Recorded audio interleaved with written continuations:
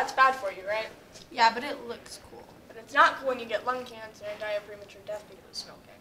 Whatever, it's not your life, okay? Well, yeah, it's not my life, but it is your life and everyone around you. Secondhand smoking can kill people almost as easily as smoking itself.